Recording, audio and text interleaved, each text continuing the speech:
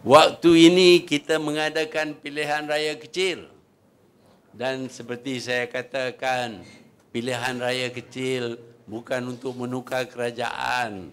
Tetapi untuk menunjuk kepada Najib betapa dianya dibenci oleh rakyat.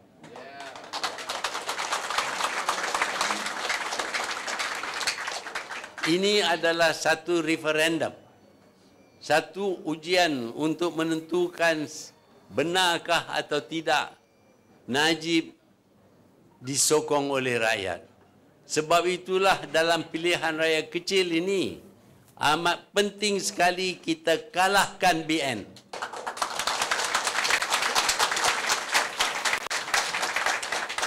Bukan saja kalahkan BN, tetapi seboleh-bolehnya supaya kita dapat rampas wang wang taruh pertaruhannya.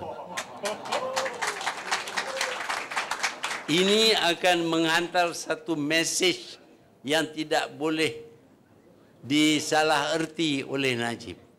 Yaitu rakyat sekarang tidak lagi nak kepada Datuk Seri Najib.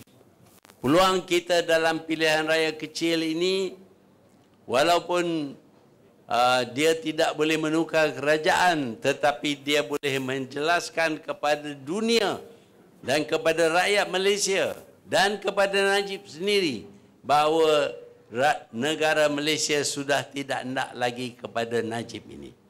Najib adalah seorang yang telah melakukan banyak kesalahan